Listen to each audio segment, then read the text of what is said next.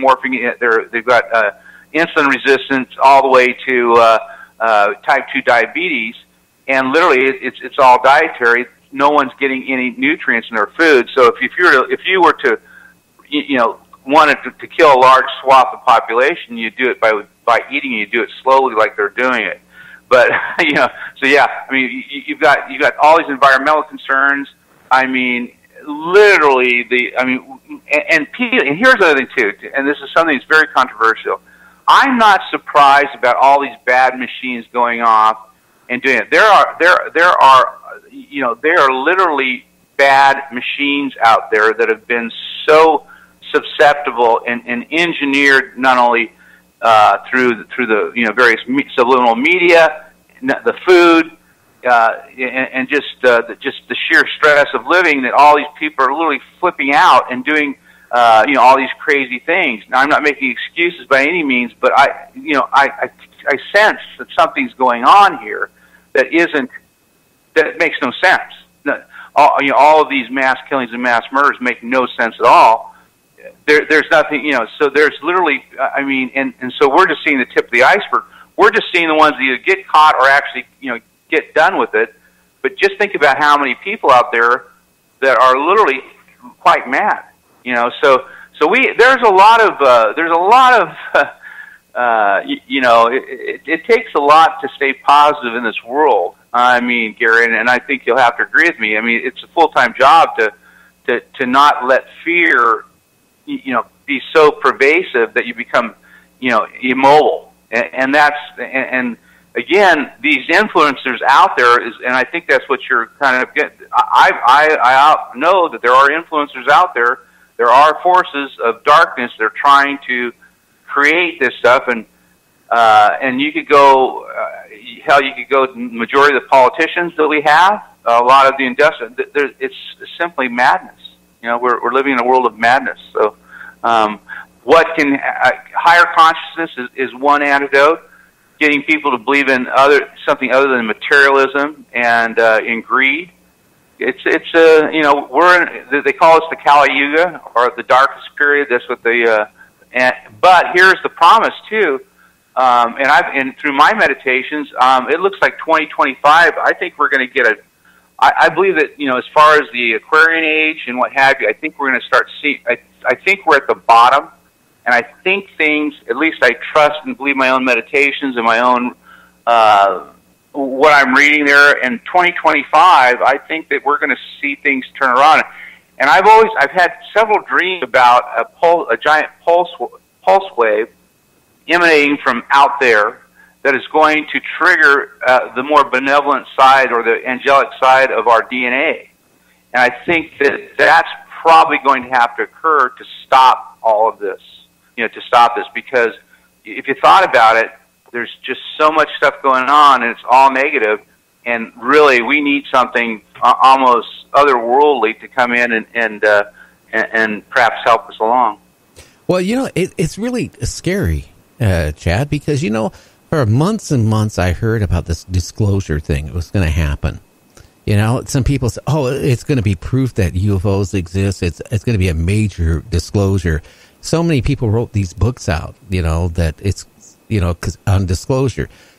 I've been in and out of broadcasting since 1976, and what I seen that was disclosure. Yeah, the Nimitz thing came out a couple little things came out. You got the Navy now actually taking reports from pilots when they claim they see a, an object that they can't describe what it is.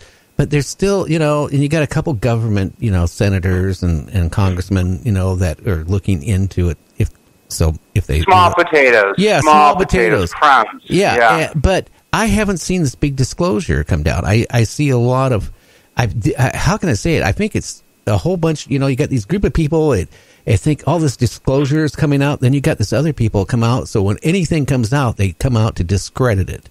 And, and, it, and I haven't seen anything that uh, it, it really shocked me. Have you? No, I haven't. And and really, it's you know, and I'm very very skeptical about you know any any type of governmental UFO disclosure. It just that's not what they do. And, and the other thing too is the shadow government you know that that's out there that literally are you know I, I mean we know it exists and and literally, I mean, you know, you can just use your imagination as far as what's going on. I, I think what you, you know, I mean, the the they utilize the government to, to actually repress information and uh, under the guise of control and Big Brother being the benefactor. But I, it's been my contention my whole life that essentially disclosure is part of our legacy. Now, uh, I've had to fight really long and hard as far as my own information base, where I at least feel somewhat comfortable as far as what's going on. But again, that just but that's not helping. I mean, I think we have there, there's seven billion people here on this planet. I think we have a real opportunity to utilize this this divinity that that uh, that we all possess, and uh, but that's being uh, categorically suppressed. I mean, it's it, you know they're they're just repressing all of the the good side of us and what have you. And they and, and what they do is if somebody pops up with any really good idea, uh, they, they seem to want to uh, annihilate them. You know, as far as this, so there there are there is there is a certain amount of darkness. I mean, you, you have to you have to concede, and, and you, you can just watch the news. You know, you can just see the games being played back and forth, et cetera, et cetera. And you know, who are the victims? Well, you know, the, the common man, and that's it's it's it's really a tragic and the time that's wasted. And and the other thing too is what you know, we're still driving we're still driving uh, carbon-based cars. I mean, I mean, what's changed over the last hundred years? I know everyone talks about the miracle, you know, about the computer and this, this, and that, but essentially, we're doing the same thing the same way. You know, and, and again, this comes down to this whole free energy thing. Um, you know, that that if if, if actually, if, if which we know it exists, we had this free energy around, and it was equally available to everybody well, think think about it. We would not need cars. We would not need insurance. We would not. You just think the litany of things that we would not need, and and, and the litany of things the government couldn't get their hands on as far as revenue. Also, so you, it, it, to me, it's all a gigantic game, and and we're like being played as uh, you, you know this could be a gigantic the extension of the book Animal Farm. I mean that that's really what we are right now. Yeah, so, well, you know what's going on. Everything you know, you read in the news. Okay, every day they're finding you know new black holes. They're finding light coming out of you know from a solar system they thought never could exist. They're finding galaxies, solar systems that never could exist, and planets that they say, hey, maybe could hold human life. This is coming out more than ever. Asteroids, they're coming like within 1,900 miles of Earth is supposed to be one be coming. Uh, then they, they, they start talking about, well, we need to spend money to deflect these asteroids. Wow. Or they, they talk about, you know, that uh, it, it's scary what's all going on right now. And, and it's like, it, I think it's like so much disinformation about everything, I think, to keep people in turmoil right now. Well, that's what you do. You divide and conquer, you know, and, and that seems to be yeah. the playbook of, you know, and, and I, I, I don't even want to mention the name but that's the playbook of what's going on. It's it's just a divisive world we live in, and it's you know it's it's them. It, it's it's the completely rather than uniting, everything is divided, and and even within the context of, of the whole unity movement, there is that whole you know spy versus spy thing. It's it's extraordinarily complicated as far as this. There's not a straight piece of metal anywhere. I mean, you know, I, and I don't care I, I know everyone wants to, you know, it, it, we're so tribalized, you know, as far as this, and, and this literally creates a distortion field. Not only uh, it's a psychic distortion field, not only not only within ourselves, but outwardly. I mean, literally. I mean, outwardly. But it's it's nothing new. It just seems to be accelerated. And, and again, I, I, my contention is, I think we're at the bottom of this thing. Think about think about everything you thought you knew, you know, growing up in school as far as the history, but the history of the the history of what they had presented to us. And then think about how everything has been uh, essentially adulterated as far as even that. I mean, they, they literally, I mean, you know, some of these new uh, findings of these ancient civilizations that predate the, del- the, you know, the flood. Think about that. That, and, and again, anybody that had brought that, those various, uh, uh, you know, like uh, Göbekli Tepe or, or any of these other finds, you know, they, they labeled the pyramids as like, you know, everything that they've based, and this has this been this joint conspiracy between religion and science, which I actually categorize category as mystery Babylon. This is what mystery Babylon is. Everything, you know, literally it, it is it is and it's our duty to find get our own information base to straighten this thing out. But but now everything's coming out and it's so evident and so clear that you really I mean unless you're you know unless you're ruined you can't deny that. But it but if we get past all this tribalism and look at everything more objectively, like for instance, my one of my biggest arguments, Gary, is is is borders. Borders are, I, I believe, are senseless, and and you know it, Thank it's you. a very, very sensitive and touchy point. Yeah, I, I mean they're they're senseless.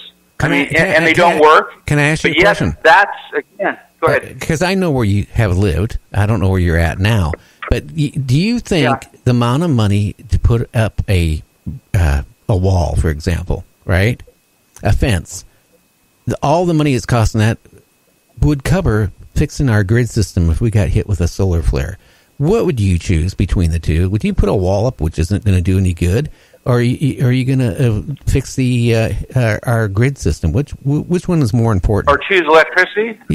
Yeah, I'm- choose electricity. Yeah. yeah, yeah, All right.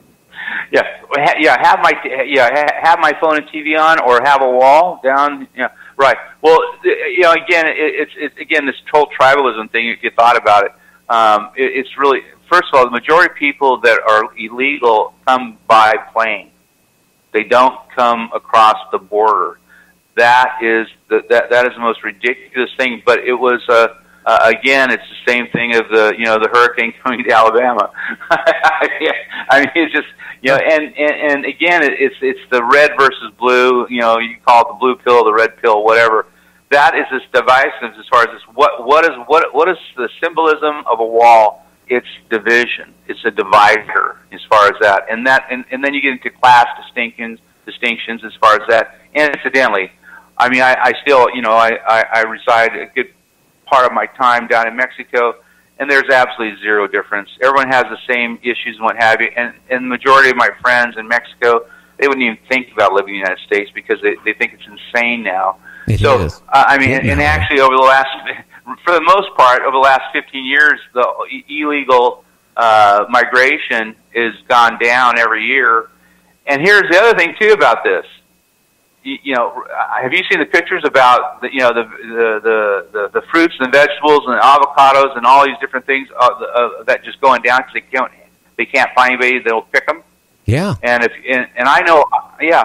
So uh, uh, w- the, again, it's it's all part of a a, a divisive uh, uh, way of being and looking at it, and I and it's tribalism, and it's like, oh gosh, it's so it's it's primeval. It, it literally takes us back to the caveman days as far as that.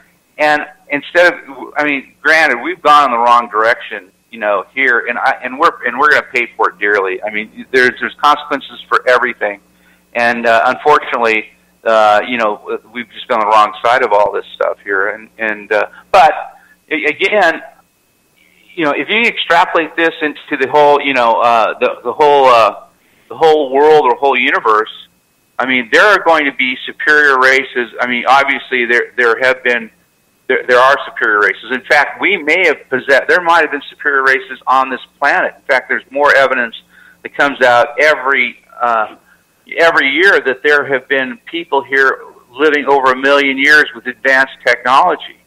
So, uh, you, you know, I, I, again, our our view is so limited as far as what this is and what it you, you know, and, and not only not only this Earth, but the whole universe. So I think with a certain uh, amount of uh, you know higher consciousness, which we'll get there, and uh, you know you, you have to believe that you will, otherwise you won't. So I'm I'm I'm so, I, I try to remain optim, optimistic against the backdrop of the stuff that I cannot deny, which I think is purely insanity. It's insane. I mean, is. It's, and it's a waste of resources. Anyways, Yeah, and we're about ready again. Boy, the time is going so fast talking to you, Chad. We're about ready to go for a break. When we get back, I want to talk about Howard Hughes. I want to talk about the person that kind of got blown up in, in Giant Rock and, and, and all this stuff, and then get into, you know, uh, what it was like where all these people would get together to gather to, you know, gaze at UFOs and try to make contact. okay. Okay, I'm going to put you on uh, mute for a little while, and uh, we'll be back in about two and a half minutes.